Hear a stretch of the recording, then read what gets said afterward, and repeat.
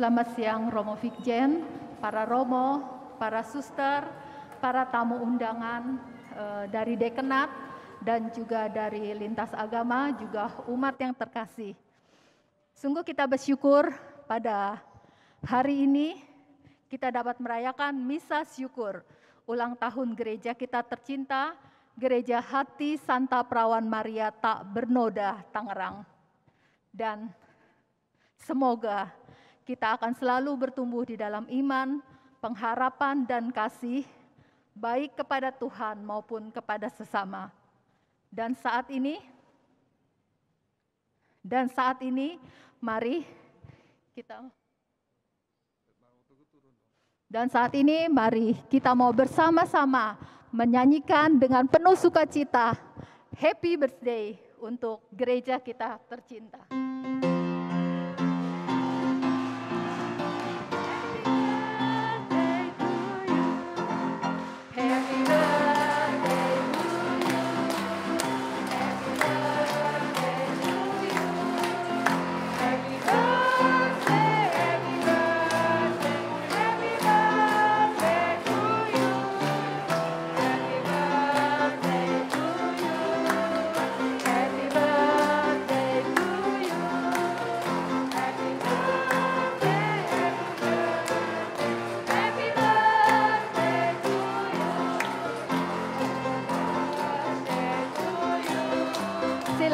Kepada uh, silakan kepada umat dari lintas agama dapat ikut berdiri di tengah.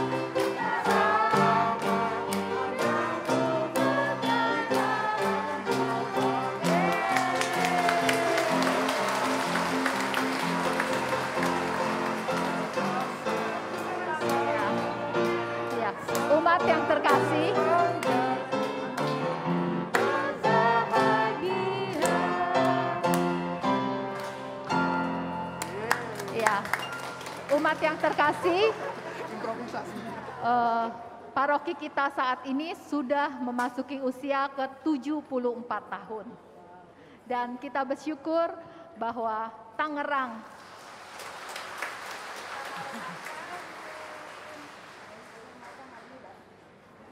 Tangerang bersatu dan terlihat saat ini di antara kita telah hadir perwakilan dari lintas agama Buddha yaitu Bapak Pandita Suhendri dari agama Hindu, Bapak Nyoman Subiksa dari perwakilan agama Islam Kang Jajat Sudrajat dari perwakilan Konghucu Bapak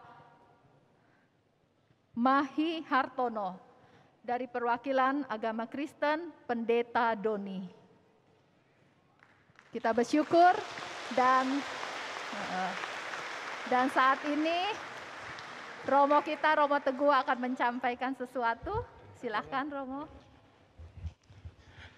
Terima kasih atas teman-teman lintas iman yang paling dekat saya, Pendeta Doni, Kang Jajat, Pak Nyoman, dan teman-teman yang lain yang bersama-sama kita turut merayakan syukur atas ulang tahun gereja Hati Santa Pramaria Tak Penoda, Tangerang ke-74.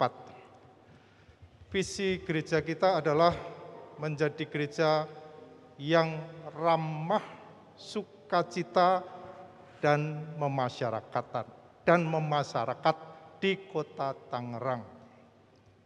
Saya pernah mendapatkan sharing dari teman-teman lintas iman ini, ada yang mau masuk di gereja sini dicurigai. Itu mengetes mengenai apa yang menjadi visi kita apakah diaplikasikan menjadi gereja yang ramah sukacita dan memasyarakat. Maka itu menjadi refleksi kita untuk mewujudkan itu dalam hidup kita di tengah masyarakat di Kota Tangerang. Maka saya memohon Pak Pendeta Doni, Pak Nyoman dan juga Kang Cacat dan teman-teman yang lain untuk menyampaikan kesan-kesan, pesan-pesan untuk gereja kita dan kita semua. Shalom. Assalamualaikum warahmatullahi wabarakatuh. Om Swastiastu, Namo Buddhaya, WD Tongtian.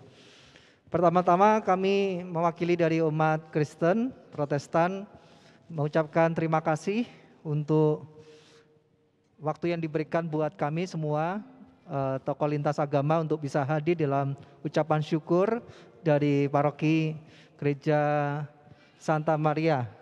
Ya, dan untuk Romo Teguh yang sudah uh, memfasilitasi untuk kami bisa hadir di tengah-tengah umat Katolik yang ada di Tangerang ini.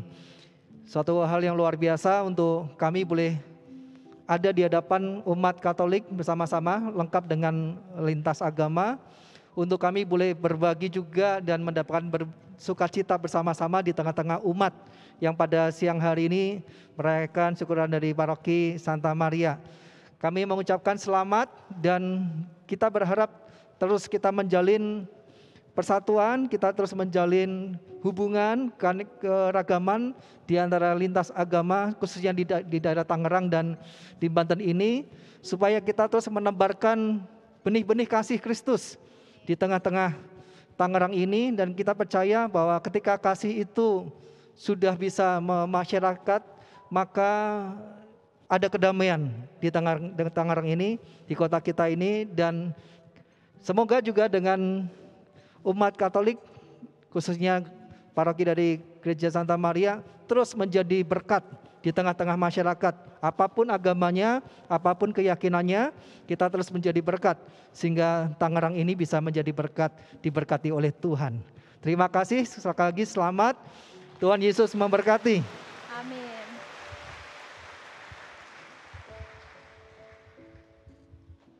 Terima kasih.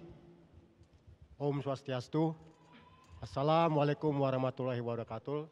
Salam, Namo Buddhaya, Wita Tungsian, dan salam sejahtera untuk kita semua. Uh, saya di sini sangat berbahagia sekali uh, diundang bukan sebagai apa namanya uh, pakar Hindu bukan. Saya hanya perwakilan agama Hindu. Ketika saya melihat di sini, pemerintah sudah boleh tidak pakai masker, tapi di gereja ini masih tetap memakai masker untuk itu. Mari kita tepuk tangan dulu semua. Terima kasih. Luar biasa. Luar biasa. Luar biasa. Jadi pertama sesuai dengan undangan saya mengucapkan selamat ulang tahun Gereja Santa Maria yang ke-74. Ke-74.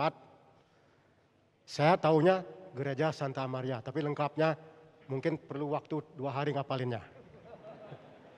Kedua, saya punya anak dua dari istri pertama, yang kedua belum. Dua-duanya sekolah di Katolik. Pertama di TK, SD, SMP di sini, sudah itu SMA di Strada. Dan sekarang sudah dewasa, satu sudah berkeluarga, sebentar lagi berkeluarga juga.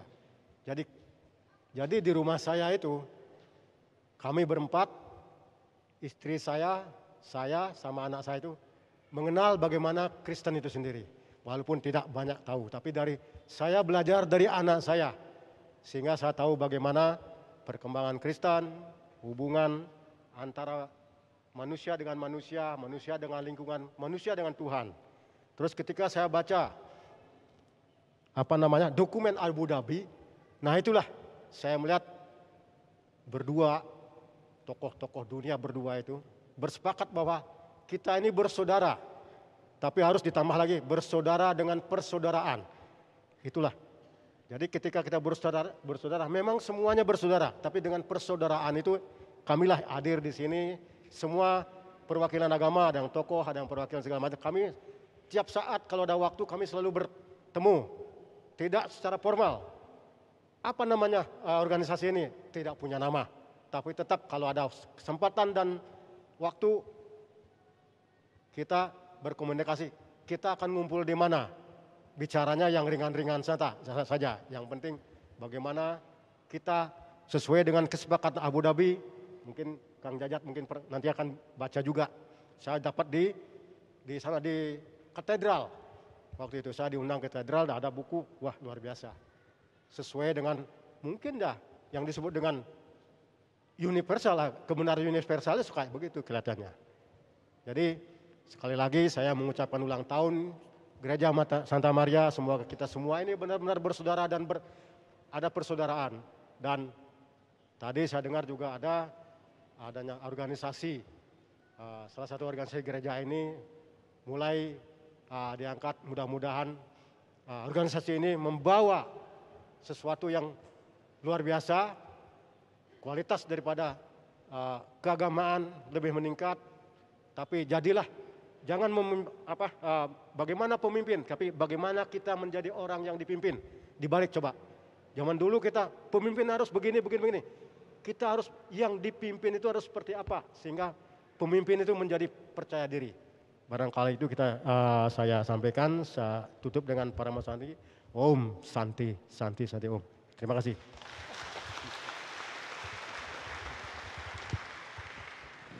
Assalamualaikum warahmatullahi wabarakatuh. Shalom, Om Swastiwastu, Namo Buddhaya, Wede Tongten, salam kebajikan eh, dan sejahtera bagi kita semua. Yang saya hormati, saya sayangi, eh, saudara saya, guru saya Romo Teguh, kemudian Kang Mas Romo Surya, Romo Ponco, juga ada guru saya tadi Romo Warno dan juga para Romo, para imam yang ada di sini, juga guru-guru saya dari tokoh-tokoh lintas agama, juga saudara-saudari kami umat Gereja Santa Maria yang uh, kami hormati dan kami sayangi. Uh, usia 74 kalau dalam tataran manusia itu sudah tidak bisa dibilang remaja dan sudah juga tidak bisa dibilang tua. Biasanya kita nyebutnya sepuh ya. Jadi gereja ini usianya sudah 74 betul ya mau ya. Nah, biasanya semakin kita sering mendengar ungkapan bahwa tua itu pasti, dewasa itu pilihan. Betul ya. Maka kadang-kadang kita sering menyaksikan orang tua seperti anak muda. Tapi ada anak muda yang seperti orang tua. Nah, kemudian filosofisnya apa?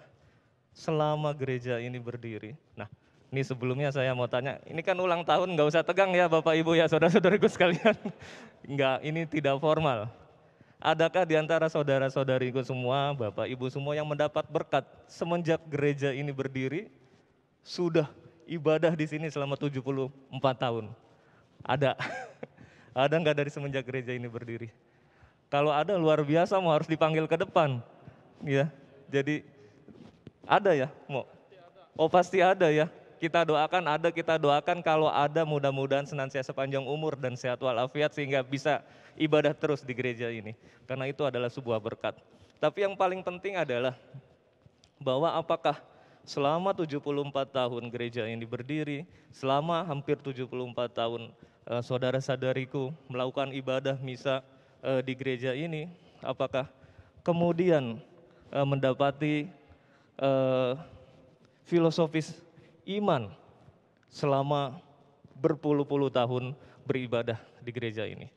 Kalau hanya datang dari rumah ke gereja, mungkin itu perkara mudah. Saya aku yakin semua bisa melakukannya. Tapi apakah ketika keluar dari gereja ini, kemudian semua mampu mengejawantahkan iman yang penuh kasih, mampu mengejawantahkan nilai-nilai yang didapat dari misa dalam dalam ibadah di gereja ini. Nah, ini butuh kedewasaan dan kematangan spiritual. Jadi kalau kemudian sama seperti halnya, mudah datang ke masjid, mudah datang ke pura, mudah sekali datang ke wihara. Tapi apakah ketika keluar dari masing-masing rumah ibadah itu hatinya diliputi dengan kasih? Apakah ketika saudara-saudariku keluar dari gereja ini kemudian memandang semua orang apa pun sukunya, apa pun warna kulitnya, apa pun yang ia sembah sebagai satu kesatuan, sebagai saudara, sebagai makhluk yang sama-sama diciptakan oleh Tuhan. Nah ini yang butuh kedewasaan. Oleh karena itu kita sering kali mendengar khotbah dari para imam bahwa iman tanpa kasih itu omong kosong. Dan iman tanpa perbuatan itu apa? Sia-sia, betul. Jadi kalau misalnya keluar dari sini masih melihat mereka yang berbeda, keyakinan masih melihat mereka yang berbeda, warna kulit, suku, dan lain sebagainya, dengan perasaan yang tidak dengan penuh kasih, maka berarti belum dewasa. Nah, mudah-mudahan, tapi saya aku yakin bahwa semakin uh, tua usia gereja ini, umatnya pun semakin dewasa secara spiritual. Umatnya semakin mengasihi satu sama lain, semakin memanusiakan manusia, sehingga nilai-nilai kasih yang ada di dalam ajaran Katolik mengejawantahkan dalam kehidupan kita sehari-hari. Dan satu hal yang sering saya sampaikan, bahwa kita tidak bisa menyatukan semua manusia dalam satu agama, tapi kita bisa menyatukan umat beragama apa pun untuk menghadapi problematika kemanusiaan yang sama. Jadi mudah-mudahan uh, kami turut berbahagia atas bertambah usianya gereja ini. Kami turut senang atas uh, terpilihnya atau terbentuknya apa itu namanya DPH ya. Apalagi ini ada senior saya, guru saya Bang Ari Tihatelu. Ini pria Ambon paling manis nih ya. Ini beliau termasuk uh, yang apa namanya generasi muda Katolik untuk ayo, ayo sama-sama kita dengan umat Islam, Hindu, Buddha, Konghucu dan lain sebagainya. Jadi harus didukung oleh Bapak Ibu semua. Terima kasih uh, Romo, para Romo, para imam saudara-saudariku untuk persaudaraannya. Assalamualaikum warahmatullahi wabarakatuh.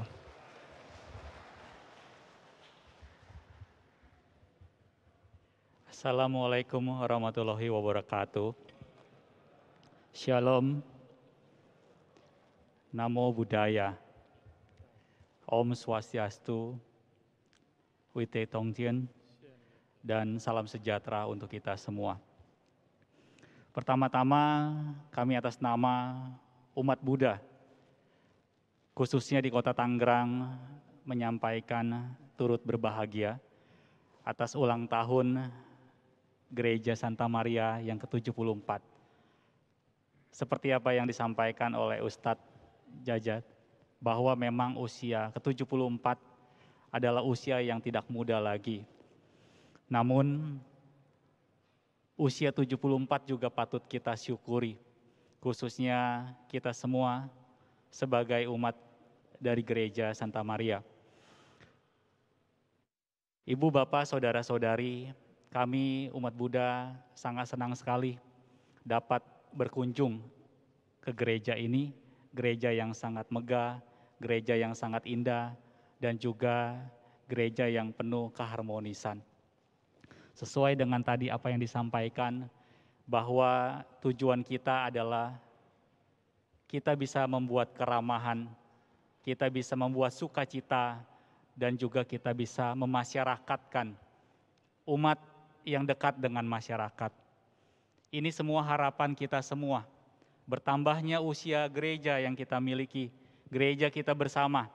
Marilah kita membangun, membangun cinta kasih dan kasih sayang kami semua belum ada seminggu ini merayakan satu hari raya besar, yaitu Hari Raya Waisak, di mana tema yang kami usung adalah moderasi beragama membangun kedamaian.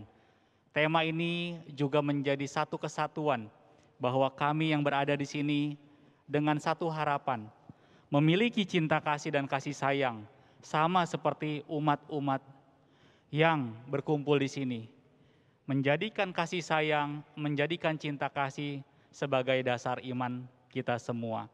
Semoga Dewan pelayan harian yang baru dari Gereja Santa Maria dapat memberikan pelayanan yang terbaik untuk kita semua, agar kita semua penuh dengan keberkahan. Sekali lagi kami mengucapkan selamat, semoga semua makhluk berbahagia.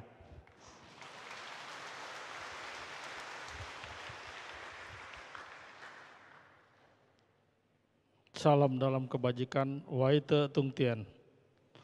Assalamualaikum, Salam, Om Swastiastu, Namo Buddhaya.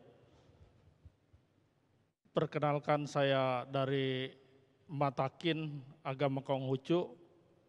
Semua apa-apa udah diucapkan oleh yang lain, saya juga jadi bingung mengucapin apa. Yang pasti saya ucapkan selamat ulang tahun untuk gereja Santa Maria ya singkatannya ya. Saya sering lewat sini nih karena rumah ibadah saya di sana Kongcubio. Jadi sering lihat ini suatu gereja yang megah memang. Dan dengan penuh iman umatnya selalu yang hadir banyak. Itulah suatu keberkahan dari Tuhan Sang Pencipta. Dan di ulang tahunnya ini juga sekaligus penggantian ya, penggantian DPH, DPH, Dewan Paroki. Saya ucapkan selamat untuk yang terpilih dan itu ajalah yang dapat saya ucapkan. Semoga ke depannya kita makin bersatu sebagai bangsa Indonesia untuk menjalin kerukunan. Waite Tungtian, Sancai. Terima kasih.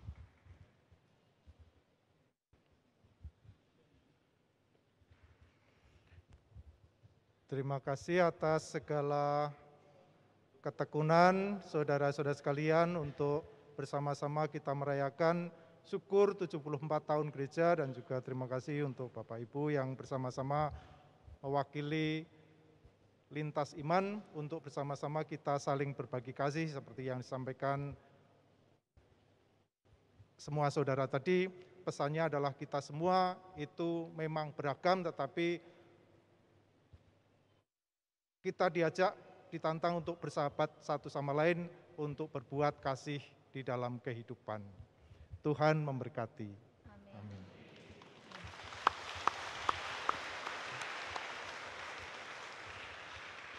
Terima kasih Romo, terima kasih Bapak Ibu semua tamu undangan. Uh, saat ini uh, akan dilanjutkan dengan sesi foto-foto bersama, sedangkan umat uh, dapat meninggalkan gereja dengan mengikuti arahan dari tim ramah tamah. Terima kasih Tuhan memberkati.